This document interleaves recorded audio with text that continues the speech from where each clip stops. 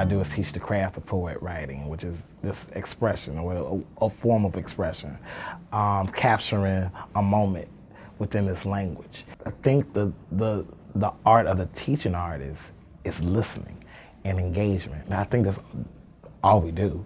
We engage people in ways they're not normally engaged.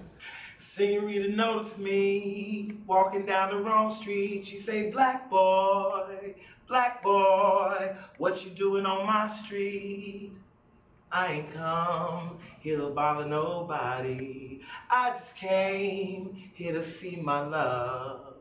Oh Lord, dear Lord, just let me get to the door, please. I believe a lot of times people in this world are not validated.